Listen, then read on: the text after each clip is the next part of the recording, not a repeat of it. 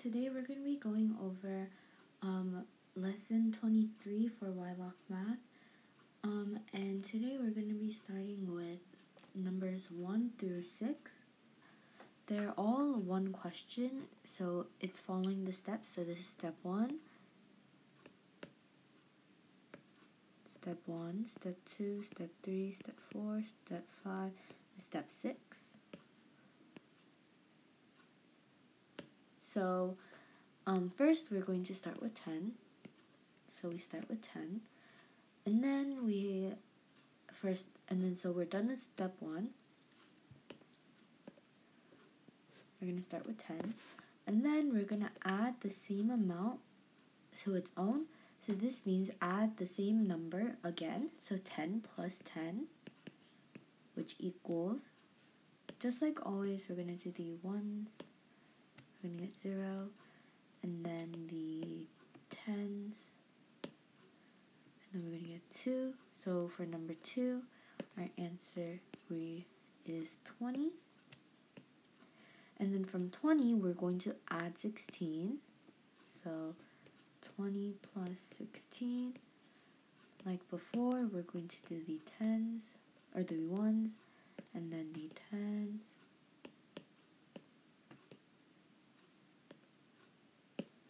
First, we're going to get 6 for the 1s, and then for the 10s, we're going to get 3. So our answer for 3 is 36. Then, I'm going to subtract 12 from 36.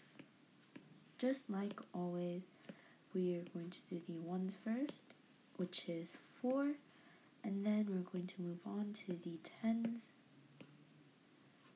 which is 2. So our answer for number 4 would be 24. And then we're going to divide by ha half of 24 in half. So it's going to be divided by 2. Or 24 divided by 2. And how did in order to do this, we're going to do long division. We have 24, and then we have 2. And then so first we're going to isolate the we're going to isolate the 2 how many times does 2 go into 2? 2 goes into 2 once. And so we're going to multiply 2 times 1, which is 2. And then we're going to subtract. And 2 minus 2 equals 2. And then we're going to bring the 4 down. And then how many times does 2 go into 24? I mean, 2 minus 2 is going to be 0. So this is cancelled out. Then we're going to bring the 4 down, and how many times does 2 go into 4? If we have 4, we see that 2 is divided in half. Then we have one section of 2 and another section of 2. So 2 goes into 4 two times. So our answer for number 5 would be 12. And then we're going to subtract 7 from 12. So if we take 12 and we subtract 7, we are going to get 5. So our overall answer for all these steps is going to be 5. Moving on to counting. How many dots do you see? So we see a ladybug and we see there's one, two, three, four, five, six dots. Moving on to how many cucumbers do you see? So we see that the cu cucumbers are in this corner with the eggs, and since we don't need the eggs, we're gonna not count them. So we have one, two, three, four cucumbers. Moving on to addition and subtraction. Addition and subtraction, we're gonna look at number seven first. So we have 15 plus 80. Just like before, we're going to do one section first. And for the ones, we have 5 plus 0, which is still 5. And then we're going to do the tens. 1 plus 8, which is 9. So our answer for number 7 is going to be 95. Moving on to 13. For 13, we have 48 minus 12. We're going to do the ones section first, or the ones place first. The ones we have 8 minus 2, which we know is 6. And then the tens place, which is 4 minus 1, which we know is 3. So our answer for number 13 would be 36. Moving on to word problems.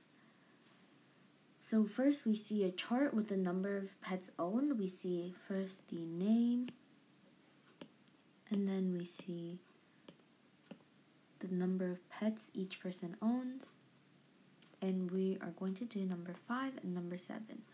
So first we see that An- Andrea has two pets, Shannon has three pets, Steve has seven pets, Rosie has four pets, Max has zero pets, and Skyline has five pets.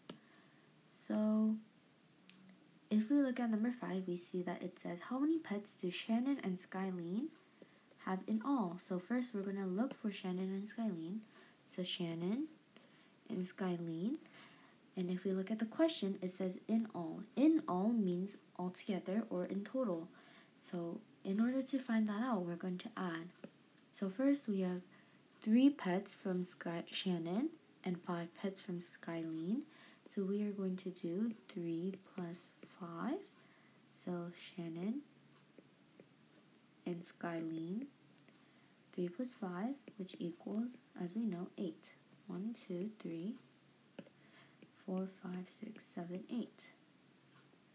So for number five, our answer is going to be eight eight pets. Moving on to number seven. How many pets do all children have in total? So we see total and all children. So we know that it's going to be everyone in total. So it's going to be 2 plus 3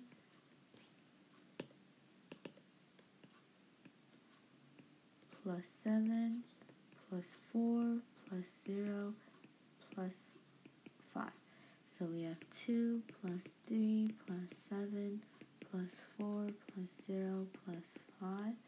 So we're first going to do 2 plus 3, which we know is 5. Going to bring down the 7. 5 plus 7 we know is 12. We're going to bring down the 4. So 12 plus 4, we can use vertical addition. Just like always, we're going to stick to doing the ones place first. And the one place is 2 plus 4, which is 6. And then we're going to move on to the tens place. And then we're going and then we're going to pull it down, which is 1. So our answer for 12 plus 4 is going to be 16. Now we are going to bring down the 0 and 0 plus 16 is still 0 since when you add any number to 0 you're still going to get the same number. Then you're going to bring down 5 and 16 plus 5 we can do this again